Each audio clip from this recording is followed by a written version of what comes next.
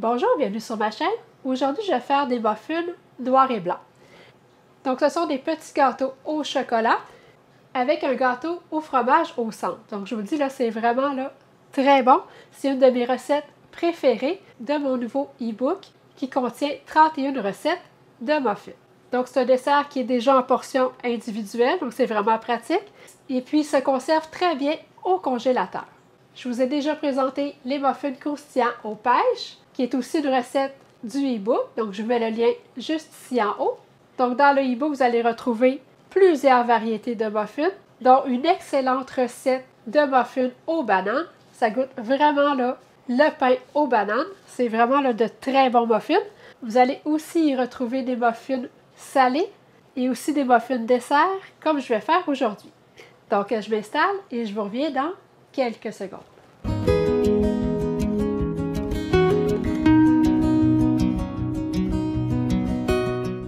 Je vais commencer par préchauffer le four à 350 degrés Fahrenheit.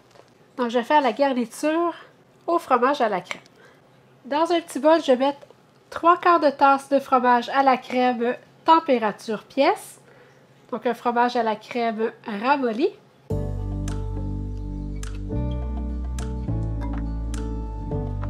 Je vais ajouter un quart de tasse d'érythritol en poudre. Si vous n'en avez pas, vous avez juste à passer votre érythritol granulé dans le moulin à café. C'est important que l'érythritol soit en poudre parce qu'on ne veut pas sentir les petits grains de sucre. Ensuite, je vais ajouter un quart de tasse de crème, 35% et puis une demi-cuillère d'extrait de vanille. Et puis je vais bien battre.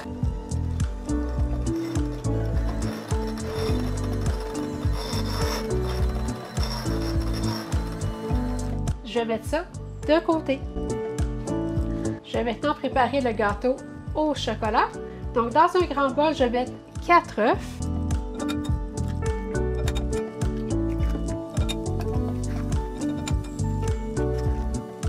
Une demi-tasse de lait d'amande non sucré. Vous pouvez utiliser le lait végétal de votre choix pourvu qu'il soit non sucré.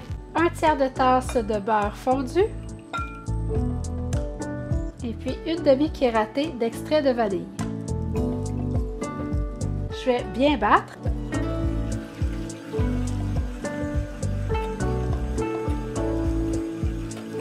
Je vais ajouter deux tasses de farine d'amande, une demi-tasse d'érythritol. Donc cette fois-ci, l'érythritol peut être granulé. Un tiers de tasse de poudre de cacao non sucré une cuillère de poudre à pâte, un quart de cuillère de sel. Je vais bien brasser.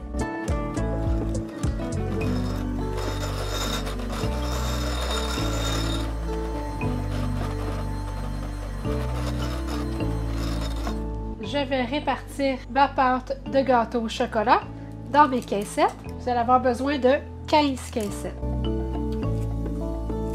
Avec la cuillère de crème glacée, ça va vraiment bien.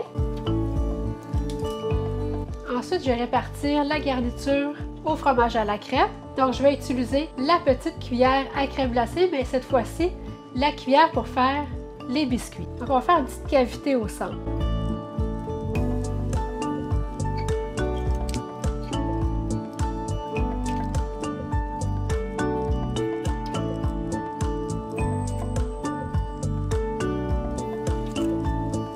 Je vais mettre quelques brisures de chocolat pour décorer.